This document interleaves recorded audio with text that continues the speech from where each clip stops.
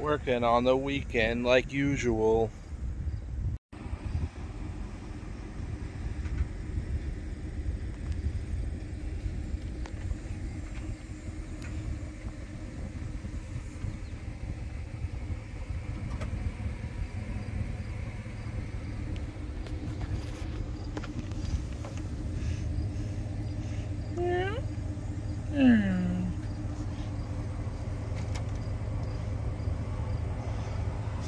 Missing.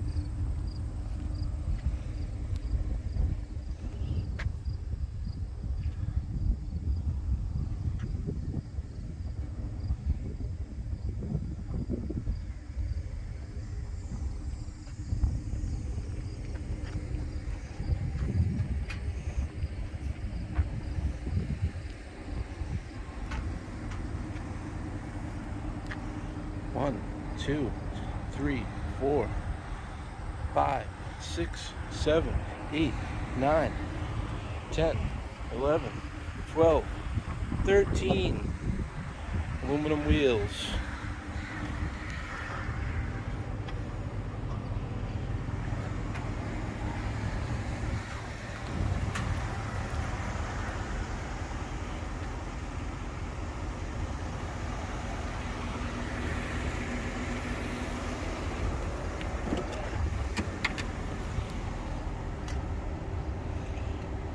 Nice in here.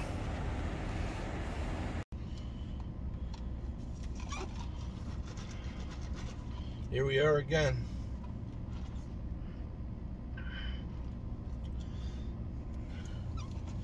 The weekend, Sunday morning. Yep.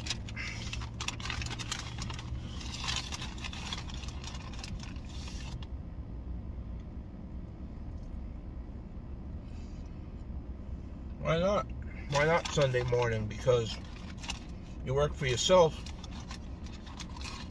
You gotta take it when you can get it. And uh, I got this, um, picked up this Dodge Dakota the other day, but usually I, uh, I like to, when I get something on the weekend, I like to go down on a Saturday morning.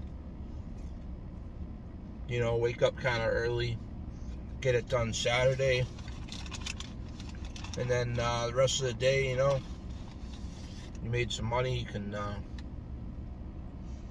do a few fun things, whatever, to family or something, you know, but we are um, taking this down on Sunday.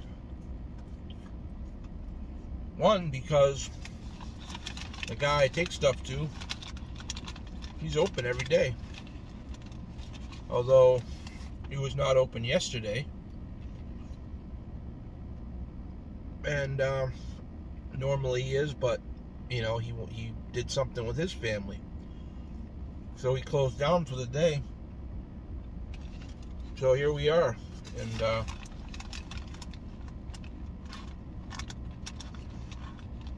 you know something I wanted to um, talk about right away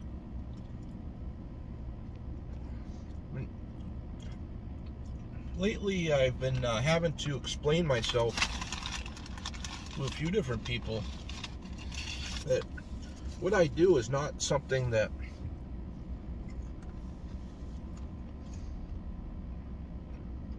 I do for spare money or you know to get a case of beer or something like that. This is um this is my you know full-time gig. This is it. This is my job. This is how I make money. I provide for my family with this money. I provide a service for people. And, uh, what I do every day is I hustle and I make money so that I can pay the bills. You know, it's not, this isn't something I'm just doing on the side. This is it. So, that being said, um, bacon, egg, and cheese wraps because uh, in the heat I forget to eat. Sometimes I don't really get hungry and then um, when it kicks in, that's a uh, big problem with the blood sugar. But anyway,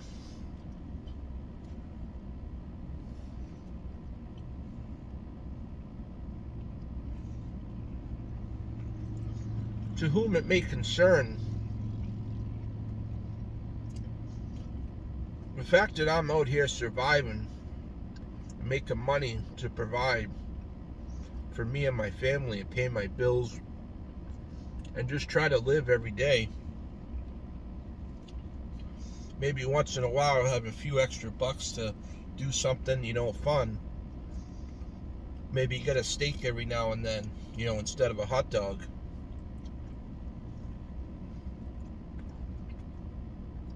I'll do whatever it takes to make that happen. And, uh, if you're looking to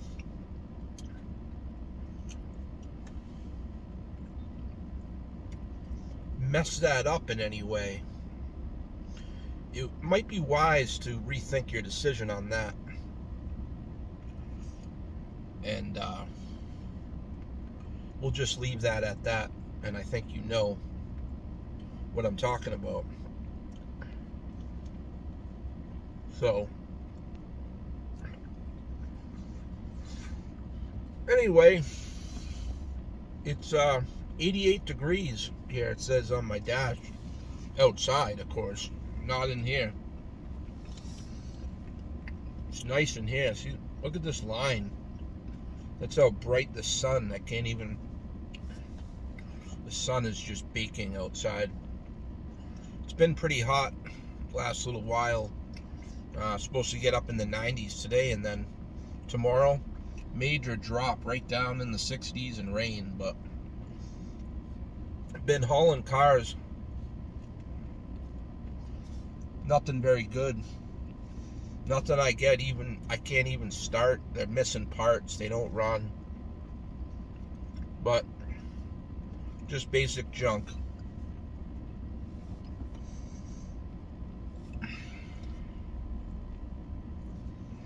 This, um, Dodge Dakota came from the same yard. I've, it's the third vehicle I've taken out of the yard there.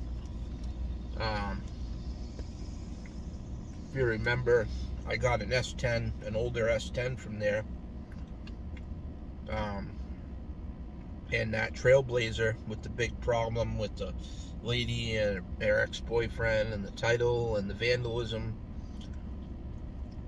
That whole thing. Well, girl that lives there, father died not too long ago, and she's having a real problem with the house and you know stuff around there. There's a lot of junk.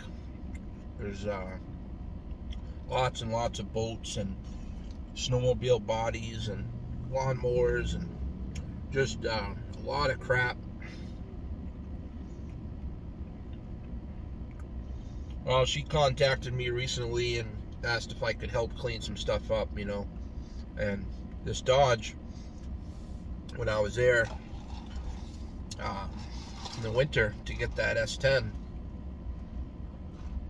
she got kind of mad because I told her I couldn't, um, I couldn't pay anything for this Dodge because it was incomplete. You know, I looked under there, and uh, there was no cat on it. They had just uh, welded in a straight pipe. So she got a little, she was a little bit aggravated on that, but um, so that sat there, and uh, I was able to buy the S10 because it had a cat on it. But anyway, she said, I don't want, I just want, I need to get this yard cleaned up and get rid of this junk. She said, so anything you can take, you know. Um, she said, I understand, you know, the price of light iron is down. She already knew. And I said, yeah, I can't be hauling that stuff. Um, I'm actually just the uh, the light stuff, appliances, and I charge people to take them out, and then I end up, um, I actually, I just take them to the local dump because uh, it's just, it's not worth it at fifty dollars a ton to for me to haul it 90 miles. Um, I'm actually not only am I not making money, but I'm losing money because of the fuel. It's just not even, it doesn't even make sense to do it. So, um, that's really the story on that. The light iron is, uh, I don't even want any of it. Um, once in a while, if I get a vehicle or something, I can, you know, throw some in. Then, not too bad. But other than that, um, anyway, she said, you know, I don't want nothing for that Dodge. If you can just haul it away. So I went over and I said, yeah, I can I can get rid of that Dodge for you. So they lost the key to it, and it's a there's no title, but it's all it's a 99, so I didn't need a title to scrap it. So she said there's a bunch of crap in the back. If you want to load anything else out, anything laying on the ground, just throw it in. So I went over and just popped the ignition out so I could uh, get the steering wheel unlocked and I noticed a couple of things different than when I looked at it before. For one, there's no transmission in it, no transfer case. Um, so, no problem uh, pulling it up on there. All the tires were up, all the brakes were unseized, so that was okay.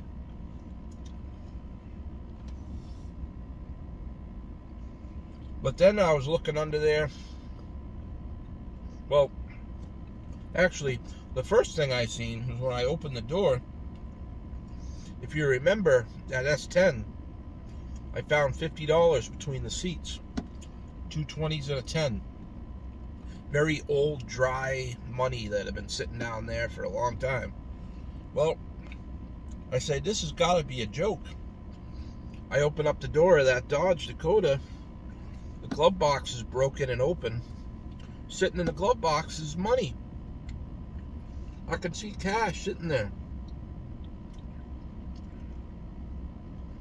So I didn't touch it because maybe maybe that that money was left there for somebody. So I continued about my business and I loaded the truck up. I had to go over to um, a friend's house in town and help him weld up a couple of uh, exhaust pieces on his truck. So I just waited, and sure enough, the girl ended up waking up that day and saw that the truck was gone. and Said, messaged me and said, "Oh shit."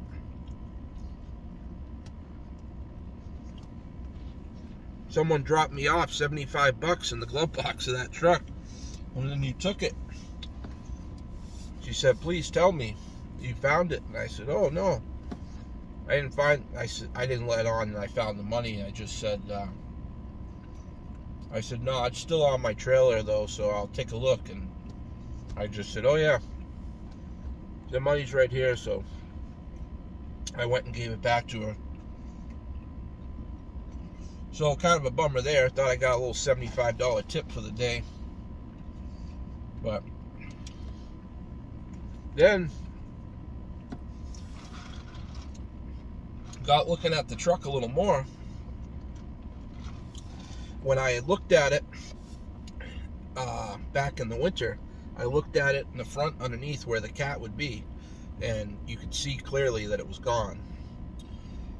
Uh, I know that that truck where it's supposed to be and what it looks like, obviously, because I've scrapped many of them. Um, so I just figured that, you know, it was bypassed at one time and it's not there. Well, now I look under there, I look further back, and they had um, kind of made a custom tailpipe there that went through the bumper. And they put like one of those small race uh, Flowmaster mufflers, but before the muffler, what did I see there? There was a cat there. We even had an O2 sensor in it, which usually when they got an O2 sensor, they're uh, they're factory, not aftermarket. It looked like the original Dodge Cat that was, but they had moved it from the front and welded it in in the back before the muffler. So I think he might have, uh, you know, decided to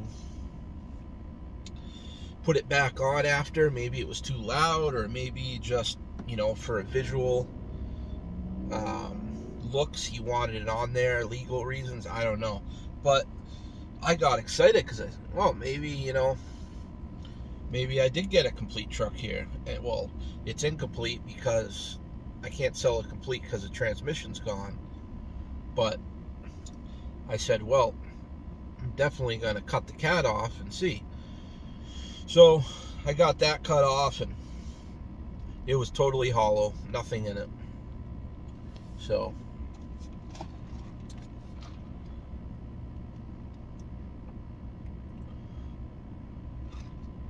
lady walking all around looking looks lost. Anyway,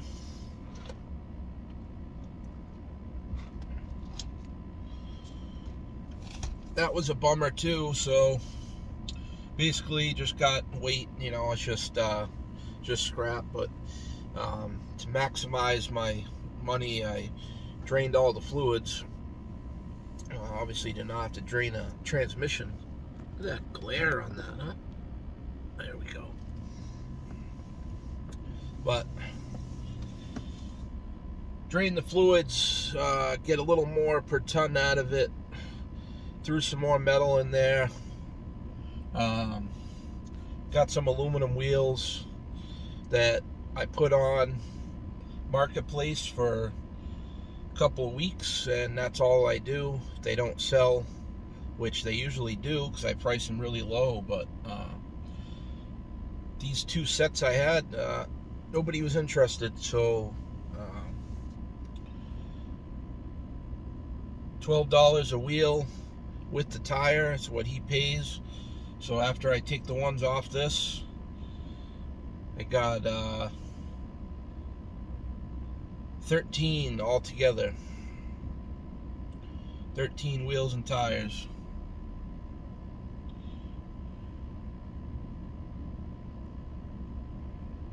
A lot of movement around here today. So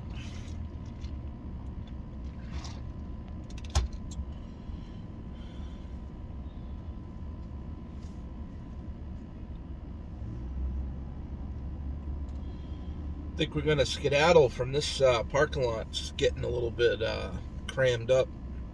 And um, see what happens next.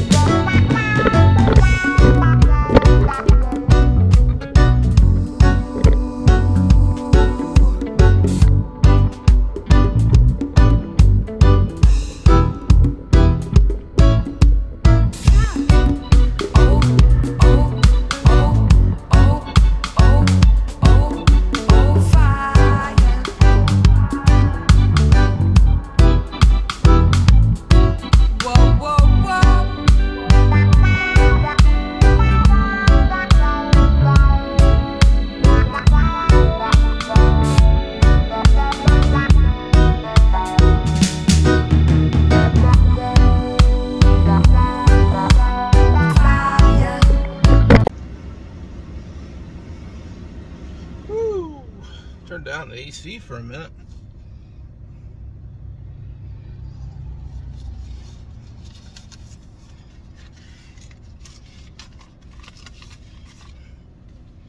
So, not too bad on the uh, Dodge Dakota. We drove in, we weighed in at 13,200 pounds.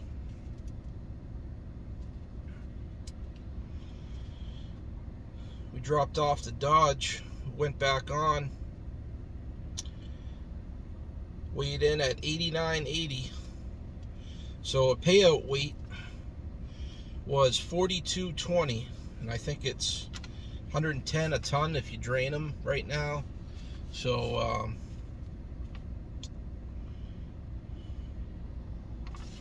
didn't even write that on there, but uh,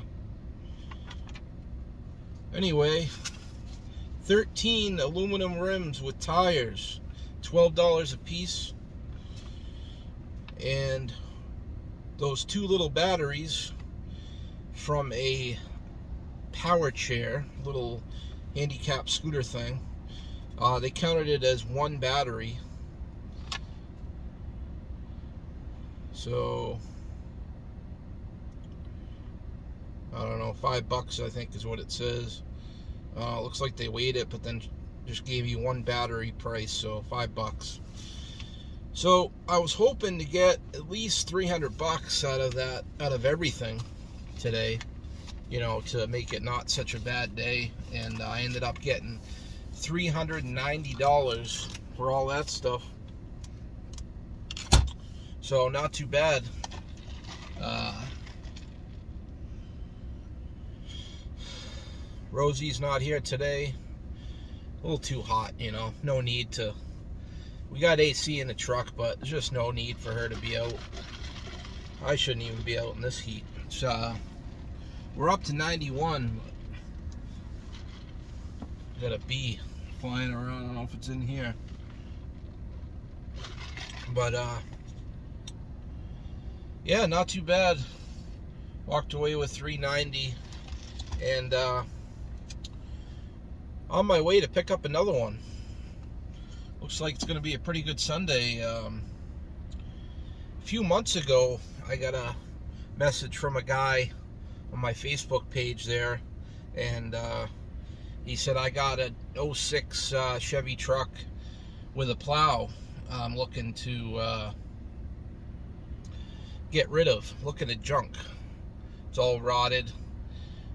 Looking to get rid of it. Don't use it anymore. Hasn't been running in a long time. So you might say, ooh, nice with a plow, but I don't get really excited about stuff up here with plows because if someone's getting rid of a truck with a plow up here it's uh, it's pretty bad, and the plow is not going to be usable or good to sell or anything.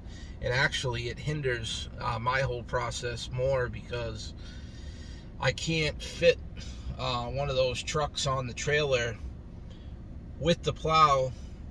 Um, it ends up uh, getting to let the bee out. Um, it gets too close to the tailgate on this uh, with the trailer hitch that's on this truck I'm not able to put an extension on it so the tongue's really close and then add on that lift gate that sticks out this much at least. Um, I end up putting a truck with a plow on and I can't turn because when I turn that blade's gonna hit the truck right? So I don't get really excited when I see a plow truck so he said, you know, if you want to come take a look at it, you know, let me know. And and this this guy, it sounded like he was just, you know, he wanted this thing out of there. It's looking. I mean, he told me it was pure junk, you know. So I went over there to look at it, and uh, this thing was it was pretty bad, like he said, pretty rotted, but all there, perfectly complete. Had the stock cats on it all the parts were on it. I think just the battery was out. But um, had a Minute Mount plow that was just rusted. I mean, real bad. Probably, you know, too far gone to sell, maybe for parts. But so we ended up, we started talking anyway, and I, I, uh, I gave him my price first, and he sort of, uh, no, he did not like that price. And I said, well, he said, oh, geez, it's got a plow and everything, you know. And I said, yeah, well, I said, you know, not to be a jerk here, but you call the junk removal business, you know, I pick up junk vehicles.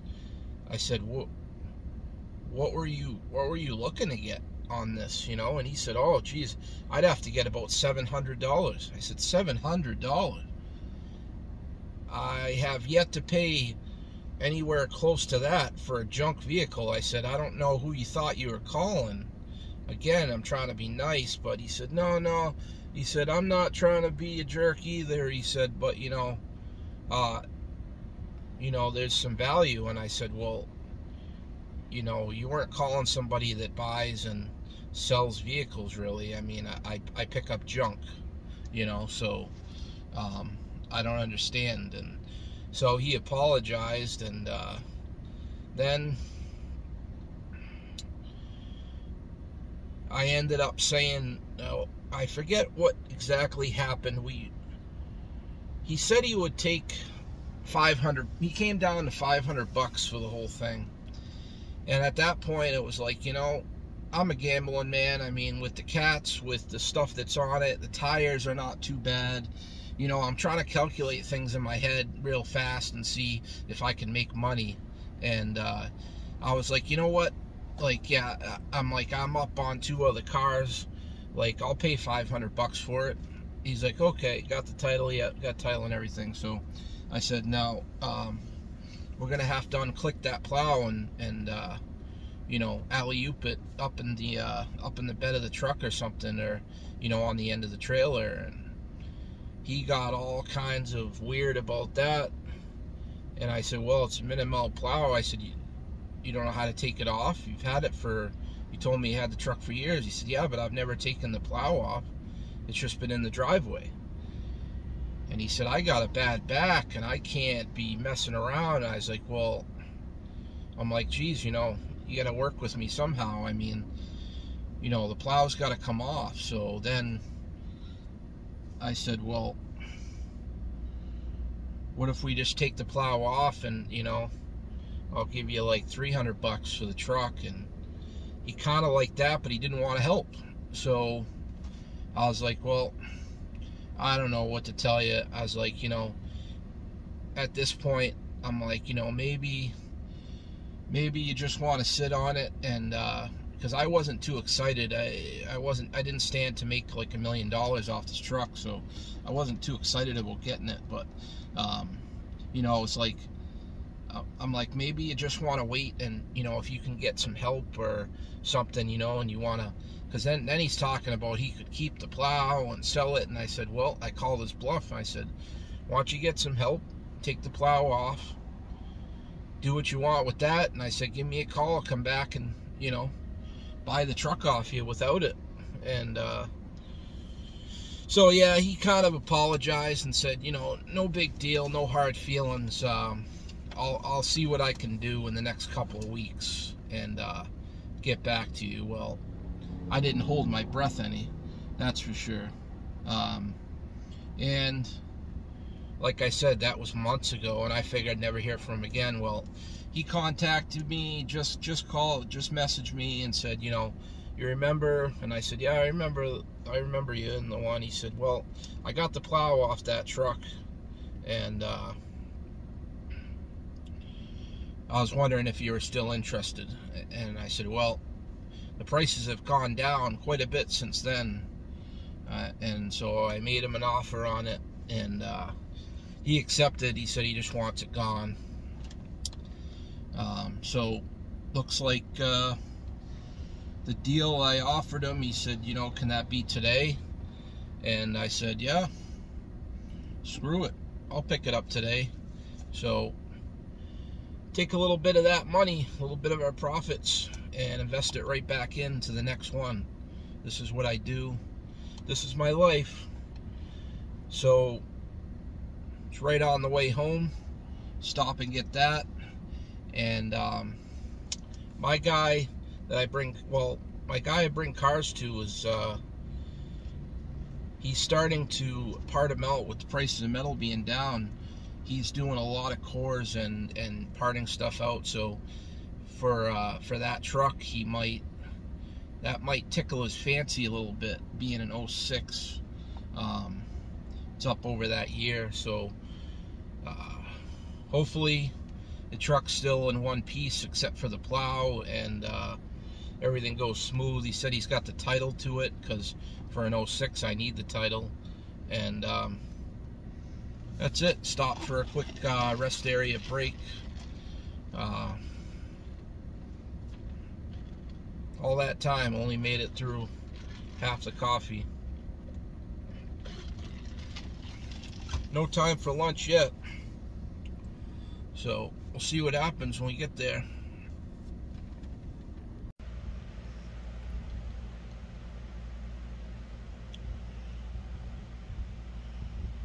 Here I am. Things happened uh, since that last I don't even know, part of the video. Um, I got the truck and I ended up having to go rescue a friend that was broken down. So I had a fiasco of getting the truck on there. Guy swapped the wheels out, put 16s on there. You can only put 17s on an 06 because they hit the calipers. So I ended up having to put on a put on my spare wheel from my truck to get it on there. And uh, all because the guy stole the wheels off of it that were part of the deal. So, way she goes, boys. It's the way she goes. That's how people are. But, hey, got four aluminum wheels anyway with it. Got going down the road. Stupid chrome running board. Tube step, whatever you want to call it. Right against the trailer tire. Smoke everywhere. All because the truck had a flat in the back. Had to change that. Big day. Sweaty. Big day.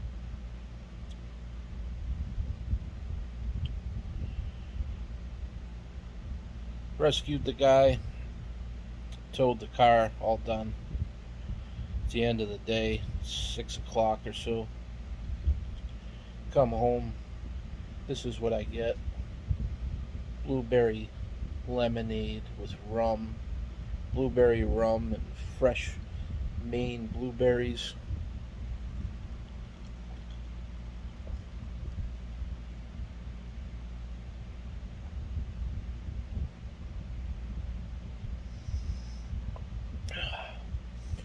It's all worth it.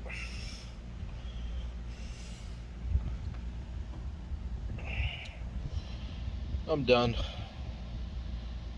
Or maybe I need some Chinese food.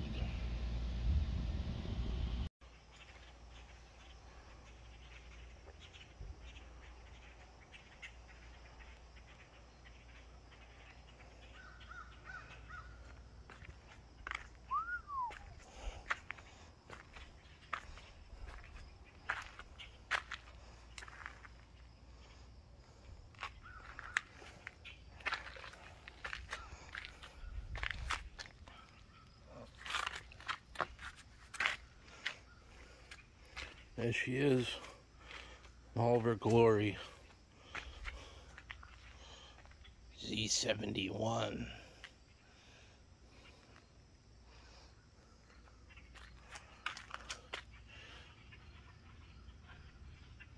rotten on the bottom.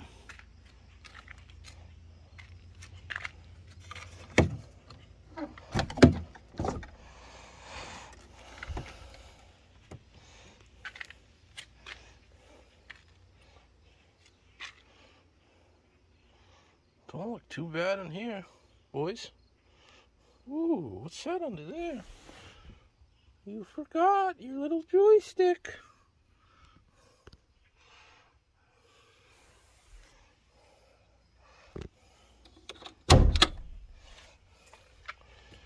GMC.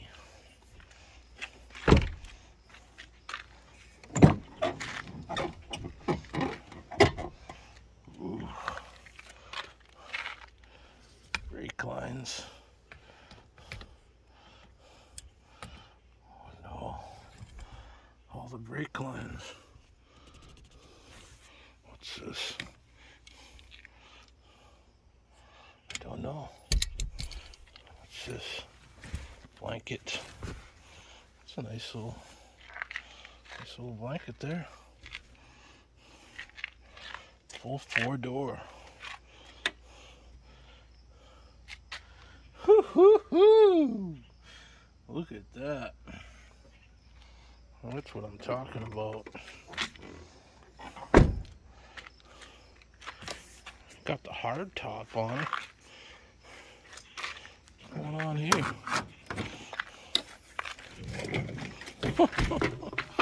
oh.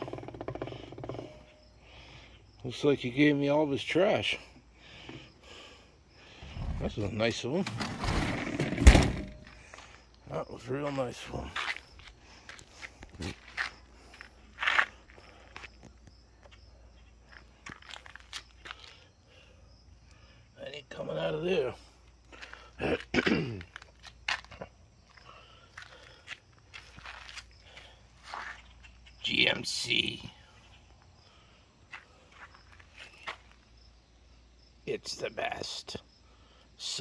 Fold X10.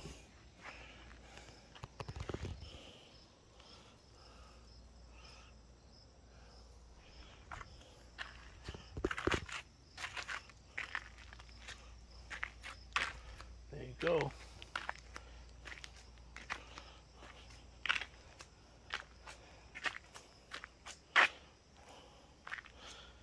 Till tomorrow. Good night.